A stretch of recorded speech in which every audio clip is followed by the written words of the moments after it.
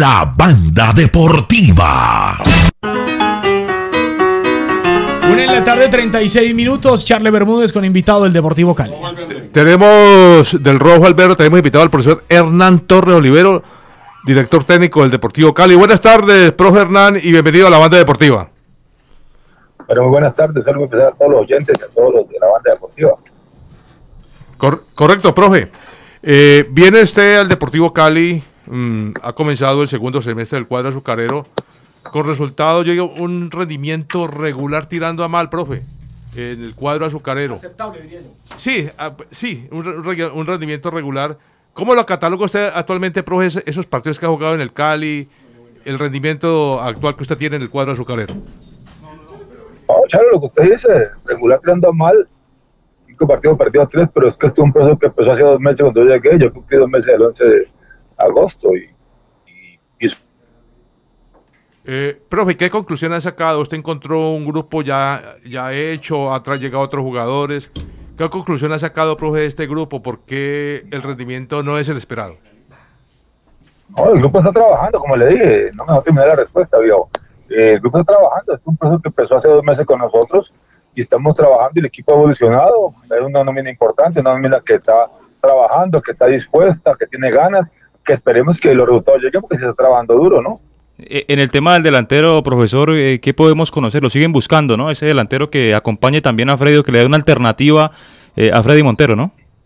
Sí, desde el inicio se ha tratado de, consigue ese delantero, ya buscado muchas alternativas, soy testigo de los esfuerzos que hace el presidente, de la junta directiva, el comité ejecutivo, nuestro gerente deportivo en buscar una alternativa importante para el equipo, pero no se ha podido concretar ni consolidar. Esperemos que ahora en la apertura nuevamente las inscripciones podamos conseguirlo podamos lograr. Porque hay una persona que nos acompaña a Montero, que Montero está solo como, punta, ¿no? Está con Búfalo, que es el sub-20 que está ahí haciendo la, la, posición también con Montero. eh, profe, ¿significa esto que es delantero sí o sí? ¿O por ahí si hay un extremo que le, que le ofrezcan que le seduzca, lo acepta? Bueno, no, de todas está buscando un delantero.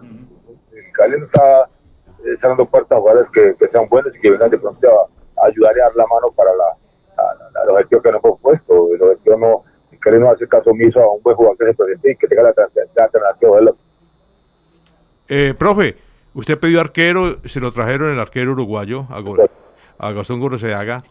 Eh, ¿Por qué pidió arquero viendo que el Deportivo Cali tenía un muchacho que venía rindiendo, era el mejor del equipo para hablarlo antes de que llegara Montero? ¿Por qué pidió arquero, profe? Porque hay un solo arquero, como usted dice, necesitamos dos arqueros para lo que vamos a enfrentar y lo que vamos a encarar. Un solo arquero que era Rodríguez y está con nosotros, es un excelente arquero y está trabajando muy duro y está compitiendo por el puesto con Guruzaga, así de que eso es competencia, pero lo que falta otro arquero del nivel de Rodríguez. Profe. Ahí, sí, ahí. Continúe, profe, continúe. Ya, le, le, contesté que, que se otro arquero porque necesitamos otro arquero que compita con, con Rodríguez, tan solo estaba Rodríguez y los muchachos jóvenes de su 20. Entonces, yo pienso por lo que se está jugando el Cali, necesitamos eh, arqueros como Rodríguez, otro arquero que, que, compite y que luche en el puesto, ¿no? Eh, profe, ¿cómo está desde la, de la parte psicológica Alejandro Rodríguez? Causó mucho impacto una imagen él en el banco de un compromiso, creo que fue frente a Medellín. Eh, bueno, un partido en el que está en el banco y, evidentemente pues cualquier jugador, cualquier elemento que no esté disputando el partido pues se va a sentir incómodo, no, no va a estar bien por no jugar. Pero en el caso de Alejandro Rodríguez, ¿cómo está, profe? pero muy bien, está trabajando muy bien, está trabajando duro y muy bien. Y bueno, a ninguno le gusta ser suplente, quiere, todo el mundo quiere jugar. Eso es, eso es importante y, y, eso lo ayuda a competir más, a él y a todos los del plantel que todos no estén jugando, a competir. Yo cuando llegué aquí dije que el que anduviera bien se queda en el puesto, que cada cual defiende su puesto de la medida que rindiera, ¿no? Eso es lo que hemos tratado de hacer, lo que tratamos de hacer con todo el plantel, no solamente con Rodríguez, sino con todos los jugadores. Profe, usted fue portero eh, y conoce muy bien este puesto. Usted en otras ocasiones ha estado, ha rotado arqueros en Tolima, de pronto en América lo, logró hacer. ¿Qué piensa hacer? ¿Darle dos partidos al uno o dos partidos al otro? ¿O que se, o que se juegue en el puesto cada que salen a que usted le da la oportunidad? Chale, como estamos, en el momento que estamos en América es competencia. Que ande bien jugará. No el puesto de arquero en todos los puestos, ¿no? Estamos en un momento que necesitamos el máximo provecho de todo el plantel, de toda la nómina, que tenga óptimas condiciones, que el nivel futbolístico suba para que el nivel colectivo futbolístico rinda y, y estemos a tope para pelear lo que tenemos que pelear, ¿no? Hay jugadores, profesor, que han venido aumentando el nivel en lo individual. Hemos visto mejoría en el caso de Andrés Andrade, del rifle, que había sido muy criticado. Javier Reina también eh, comprometido en, el, en, el, en, el, en, la búsqueda pues, de, los, partidos. ¿Es positivo que vayan aumentando ese nivel pensando en que el colectivo también se fortalezca y puedan llegar a esa victoria, no? Claro, porque es que si no rinde el, el aspecto individual del colectivo, tampoco por ende va a rendir, va a subir su nivel cada uno suba su nivel futbolístico para que el colectivo sea óptimo y, y como trabajo en equipo se peleó lo que queremos pelear, lo que, los objetivos que hemos trazado. Esperemos que todo el mundo suba su nivel, no solamente Andrade ni Reina, todo el plantel está trabajando y está comprometido para subir su, su, nivel futbolístico y ayudar hacia la, al grupo humano, a la institución que estamos eh, trabajando intensamente para conseguir el objetivo claro que tenemos y todos sabemos cuál es. Eh, profe, el primer tiempo frente a Medellín, quizás lo más eh, interesante que ha hecho el Deportivo Cali desde que usted llegó. Eh, ¿Por qué cambia tanto? ¿Por qué varió tanto el equipo después frente a Boyacá Chico en condición de visita? ¿Y qué siente usted que no pueda consolidar una idea futbolística y que se le dibuje el, equipo en una semana? La idea futbolística siempre ha estado. Yo pienso que todos los partidos no son una historia nueva, todos los partidos no pueden ser iguales, ni los rivales son iguales, ¿no? Así de que con mm, Chico fue otra, otra, otra situación. Me parece que el grupo corrió, trabajó, tuvo actitud, tuvo orden, tuvo fútbol. Usted dijo que Chico no nos llegó facilito al arco, solamente la pelota de media distancia que fue un gol de otro partido, porque hasta el momento estaba el Cali haciendo las cosas bien. Ha tenido, ha tenido las posibilidades más claras de gol el Cali que Chico.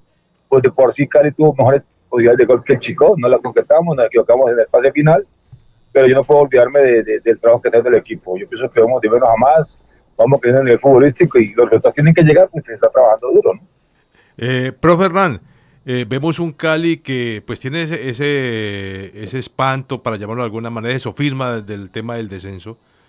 Eh, y lo hemos hablado desde el año pasado y este año, y, cuando usted llega en el segundo semestre, que ese piano, eh, hay algo, esa presión que siente el jugador en el Deportivo Cali, está pensando mucho. ¿Usted cómo ha captado ese momento del jugador, esa parte anímica, que se ve que el jugador de Cali sale a la cancha a jugar con cierta presión que no los hace rendir como tienen que rendir? Es que si hay presión, lógico, hay presión y si le este que hay presión que no nos afecta, pues que es mentiroso, pero es que lo tenemos que manejar nosotros. Por eso tenemos jugadores de jerarquía, jugadores grandes, jugadores que han estado en, en instancias complejas, difíciles, eh, jugadores que han sido campeones, la mayor parte del grupo ha sido campeón hasta momentos definitivos del fútbol, así que todo eso necesitamos ahorita vivirlo y ponerlo y exponerlo para el grupo para poder salir de la situación que estamos viviendo. Sí, técnicos anteriores que pasaron por el Cali, profesor Hernán, hablaron de que no se tocaba el tema del descenso, que hablaban de clasificar y pues por consiguiente se iban a alejar de ese tema. ¿Usted habla de eso con nombre propio, con el equipo, el tema del descenso? No, yo no, yo no me gusta tocar el descenso porque yo pienso otra cosa, yo pienso es estar eh, en, la, en la tabla de los que están, van de primeros en, las clasificaciones. Eso estar eh, metido entre los cuadrangulares, es mi meta y es me quita el sueño estar entre los, entre los primeros, entre los cuadrangulares. Y yo pienso que usted está en los cuadrangulares y confirma eso está en los cuadrangulares, pues lógicamente se va a dejar de esa situación que es el descenso, ¿no? Eh, profe, hace un instante hablamos con César Torres, recién salido del Deportivo Cali. Hernández. César Hernández, César Hernández. Eh, recién salido de la cantera del Deportivo Cali y nos manifestó que había tenido un diálogo con usted en torno a Haider Moreno. Hace pocos días, no sé cuándo, hace, hace poco eh, tuvo ese diálogo con usted. Vamos a ver a Moreno, eh, entendiendo que Deportivo Cali hoy solo tiene a Freddy Montero. ¿Es la posibilidad para ver al canterano? Sí, el que está, él está trabajando allí, es el otro el menor que tenemos, un 20 con Montero, eh, por eso lo tenemos allí, es que está, lo tenemos y más, si se llega a traer su delantero, pues irá a alternar con ellos dos, pero si no, se quedará él con Montero, es un jugador joven, de muchas ganas, mm, de mucha movilidad, dinámico, potente, así de que en la medida que se presenten las posibilidades y él siga trabajando como está trabajando, va a consolidarse, ¿no? ¿Qué está pensando, profe, para el martes, para eh, enfrentar a Santa Fe? Muchas cosas, estamos tratando de muchas cosas que pensar de uh, María. No está fácil, eh, Que, no, no, no es fácil, no es fácil. Y bueno, y nadie nos dijo que iba a ser fácil la situación, ¿no? Sabíamos a lo que nos enfrentamos y estamos trabajando para, para poder salir adelante. Y yo pienso, estoy convencido de que un grupo humano comprometido, que hay trabajo, y en la medida que usted trabaja y se convenza de que somos capaces, se va a conseguir el objetivo, ¿no? Eh, profe, trae usted los jugadores uruguayos y cuando ya hablan, pues todos, que se puede escribir jugadores, solucionar el problema que tiene el Cali con Nacional, usted una vez ingresa a los dos charrúas, a los dos uruguayos. O sea, se ve que usted quería mirarlos y meterlos rapidito, profe. No dar papaya. Yo no traje los uruguayos. Yo no soy empresario, papá. Primero que todo, ¿listo? Yo he pedido jugadores Pero como refuerzo, pedí, pedí un arquero, pedí un central, he pedido un delantero, ¿cierto? Que han llegado, no ha llegado el delantero. Nacionales o internacionales. Nacional no se pudo conseguir el arquero ni el central, entonces tuvo que recurrir el comité ejecutivo a buscar en el, en, en el exterior. Se consiguieron dos, dos personas que llegaron y se acomodaron el presupuesto del club. Y en base a eso, pues, y tratamos, lo vimos, y pues, si tiene extranjero que ponerlo a jugar, si eso no es, entonces, ¿cómo hace uno para ver si, es bueno o no puede el extranjero?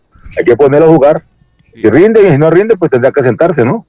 Y hasta el momento lo dejan satisfechos, Rea y Guruciaga. Están cumpliendo, están cumpliendo. Esperemos que siga desarrollándose. Ellos están recién llegados, esperemos que sigan teniendo su capacidad, pero han cumplido hasta el momento y, y esperemos mucho más, y esperamos mucho más de ellos. Eh, Yo tengo una pregunta al final, eh, profe. ¿Usted ha hablado con el, eh, con el presidente Humberto Arias en torno al delantero que quiere? ¿Hay alguien cercano? ¿Hay un hombre que, digamos, lo seduzca? ¿O eso está quieto? No, no, o sea, hay muchos nombres, sí se está hablando, eh, se han hablado de muchos eventos antes de que cerraran las inscripciones, hay uno con un presupuesto inmensamente altísimo, altísimo, es que era imposible. Eh, el presidente hizo los máximos esfuerzos, como fue este señor venezolano Eric Ramírez, que, que- que queríamos que viniera, el, el presidente hizo lo que sea, se puso una posición que si, no se podía, no se pudo, el hombre no lo aceptó, entonces ahí sí no podemos hacer nada, pero siempre se ha tratado de buscar que el comité ejecutivo del presidente de buscar esa, ese, ese delantero. Se está buscando, se está mirando. Hay infinidad de nombres que, no, que nos han mandado a los celulares de ellos, al celular mío, pero estamos analizando porque es que no nos podemos equivocar, ¿no? ¿Habrá alguien libre bueno? Sí, bueno, este, por eso, eso es lo que estamos mirando. Un jugador que quede libre y que no tenga equipo, entonces eso es lo que hay que mirar, ¿no? Y lo que tenemos que evaluar. Eh, profe, esa crisis institucional que vive el Cali, eh, eh, ¿no están afectando la parte de fútbol, la parte de ustedes? Porque se dice que el Cali debe, que lo otro por aquí, por allá, que son cosas extrafutbolísticas, ¿está afectando la mente del equipo profesional? Yo me encargo de lo deportivo, Charles, y lo que puedo decir es que estamos al día. No han cumplido al día. El, el- ningún jugador del Cali ni el cuerpo técnico le den un peso. Se lo puedo decir. Entonces, el, el- club se ha comprometido a pagarnos y hasta el momento no nos debe ni un peso. Están al día con nuestros compromisos económicos, ¿no? Entonces, yo lo institucional no sé. No me, yo, yo le puedo hablar de la parte deportiva. Bueno, correcto, profesor.